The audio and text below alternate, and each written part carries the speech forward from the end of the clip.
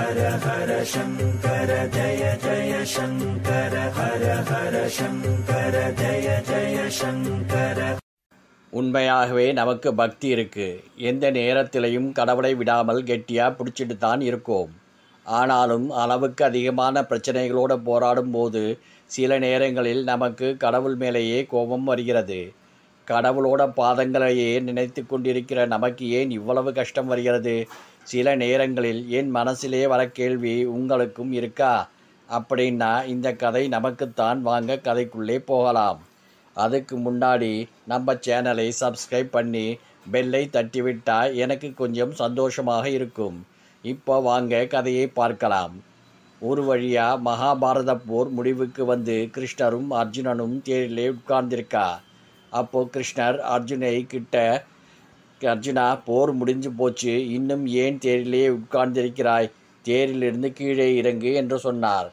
அப்போது அர்ஜுனன் கிருஷ்ணர்கிட்ட சொல்கிறார் நீ என்னை போரில் வெற்றி பெற வைத்தாய். ரொம்ப சந்தோஷம். ஆனால் வெற்றி பெற்றவனை தேரோட்டித்தான் கையை பிடித்து இறக்கிவிட வேண்டும் என்ற சம்பிரதாயம் உண்டே. அதை மறந்துவிட்டாயே. அப்படி செய்தால் எனக்கு பெருமையல்லவா நீயே என்னை கீழே இறங்கு என்று ஆணையிடுகிறாய். இது என்ன நியாயம்? அர்ஜுனனின் வார்த்தைகளை கிருஷ்ணர் காதில் வாங்கி கொண்டதாகவே தெரியவில்லை. தேரை விட்டு இறங்கு என்றார் கண்டிப்புடன். வருத்தத்துடன் அர்ஜுனன் கீழே இறங்கினான். அப்போது அவர் தேரின் பக்கத்தில் நிற்காதே சற்று தள்ளினில் என்றார் அதட்டலுடன். அர்ஜுனனால் கிருஷ்ணரின் அதட்டலை பொறுத்து கொள்ளவே முடியவில்லை. வெற்றி பெற்ற மகிழ்ச்சி கூட மனதை விட்டு அகன்றுவிட்டது.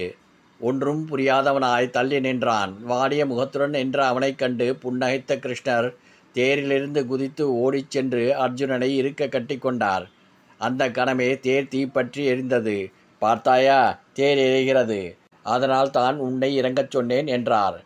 தேர் ஏன் எரிந்தது? அர்ஜுனன் ஏதும் புரியாமல் கேட்டான். அர்ஜுனா போர் புரியும் பொழுது கௌரவர்கள் உன் மீது பல அஸ்திரங்களை ஏவினர். அவற்றின் சக்தி அளவிட முடியாதது. தேரில் நானும் கொடியில் அனுமனும் இவ்வளவு நேரம் அதை தடுத்து கொண்டிருந்தோம். ஆனால் அவை வலிமையற்று கிடந்தன.